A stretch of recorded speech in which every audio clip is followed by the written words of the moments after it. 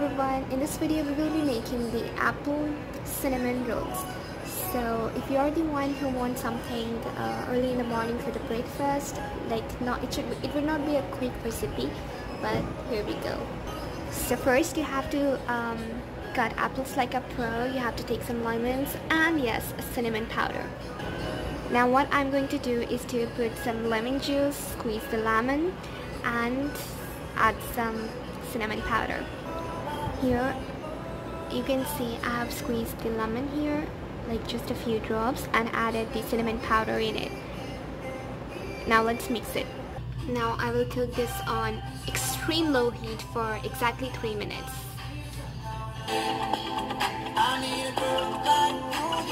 And now in a separate bowl you should mix uh, equal amounts of sugar and cinnamon powder. This is how it looks like. At the same time you should take um, few breads are as much needed. Now roll the blood. Now roll the bread until it get flattened like this. Now take the fresh cream or the cream cheese. I've used this one.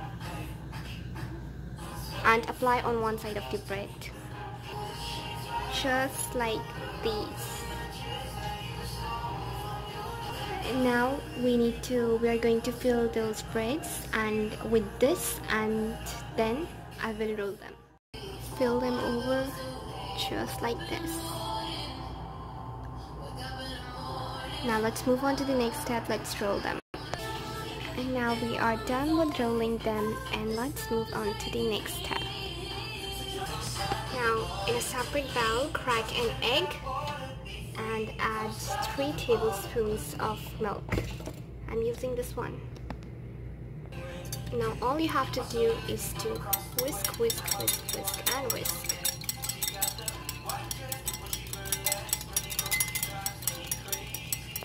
Now heat the pan and grease it with the butter which I've already ended up burning the pan.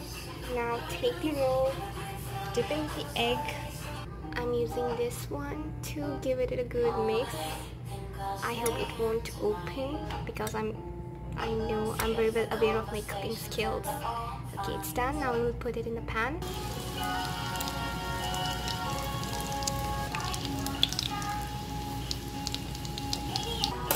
Now put them on a piece of paper in order to drain all the excess oil